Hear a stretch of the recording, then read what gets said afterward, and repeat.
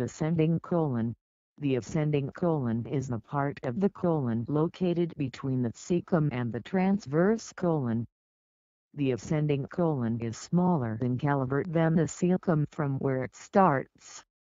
It passes upward, opposite the colic valve, to the under surface of the right lobe of the liver, on the right of the gallbladder, where it is lodged in a shallow depression the colic impression. Here it bends abruptly forward and to the left, forming the right colic flexure hepatic, where it becomes the transverse colon.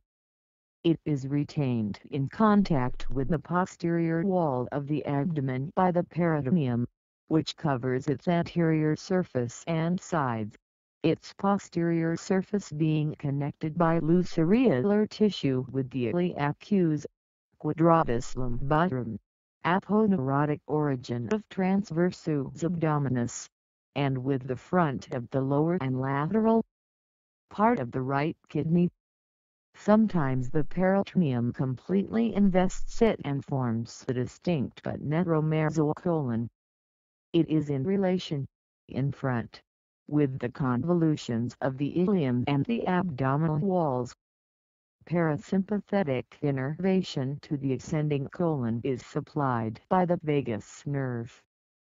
Sympathetic innervation is supplied by the thoracic splanchnic nerves.